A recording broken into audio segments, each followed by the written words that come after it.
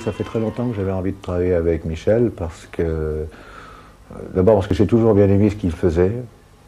Euh, j'ai toujours bien aimé ce qu'il faisait pour les, pour les autres.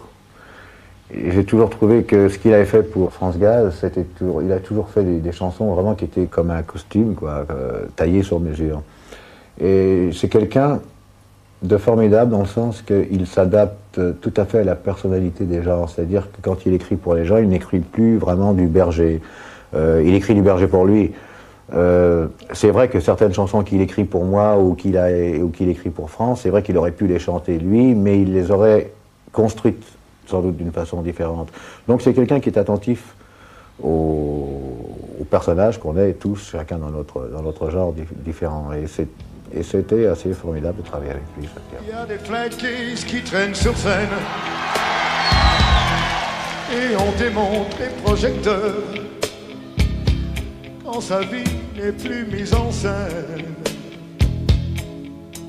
Ça lui fait peur. Non, le chanteur abandonné, ce n'est pas moi qui lui ai demandé de faire cette chanson. Euh, le chanteur abandonné, c'est venu, euh, c'est venu lors de notre première rencontre, quand je lui ai demandé de venir euh, voir au Zénith, pour éventuellement faire un album ensemble.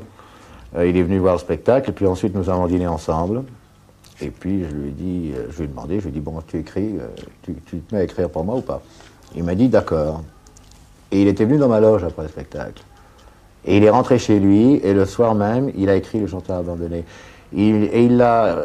Je lui ai demandé pourquoi après il m'avait écrit cette chanson. Et il m'a dit simplement parce que, après ton spectacle, quand j'ai été dans ta loge, j'ai vu ces télégrammes accrochés au mur, j'ai vu ces fleurs, j'ai vu ce gars qui était vidé après son spectacle, qui était assis sur une chaise avec des gens qui frappaient à la porte, qui visiblement l'emmerdaient, il avait envie de se reposer une demi-heure et tout ça. Visiblement, il a vu une espèce de solitude, comme ça qu'il y a chez tous les chanteurs, pas que, pas que chez moi d'ailleurs. Il, y a pareil chez Goldman, il y a pareil chez, chez, chez France, enfin chez...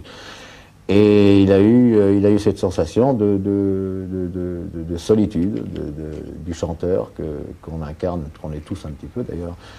Et ça lui a donné envie d'écrire cette chanson.